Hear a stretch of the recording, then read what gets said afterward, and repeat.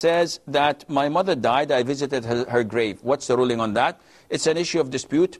Some scholars say it's permissible, and I follow the opinion that says it's totally prohibited. To have disclosure, you don't have to be there at the grave.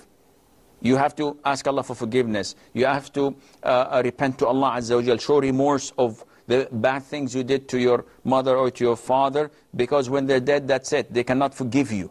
They're gone. So you have to do good deeds and try your level best to uh, uh, do that.